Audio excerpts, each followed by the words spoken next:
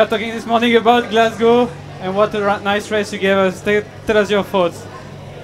Yeah, for me it was a race on from the beginning. I ended up being in the early breakaway and then some breakaways in between, and then I guess I got the results my legs deserved at the end. I mean, I, I was outclassed, outlegged in the final. You know, uh, Lotte deserved the win, and what a ride! Yeah, it was a really hard race. We have seen that. How it was when you were at the group at the front with the attack after attack and then watch, looking at each other.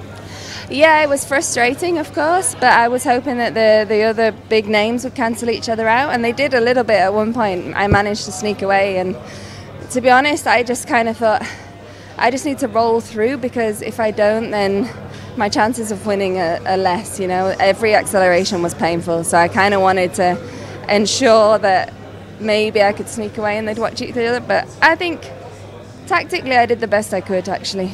I guess you must be happy with your race. Yeah, I'm happy. Yeah, I mean, it's you- you're always never completely satisfied unless you win, but um, I'll go home proud of my performance. Yeah. Thank you, Heidi. Thank, you. Thank Well done.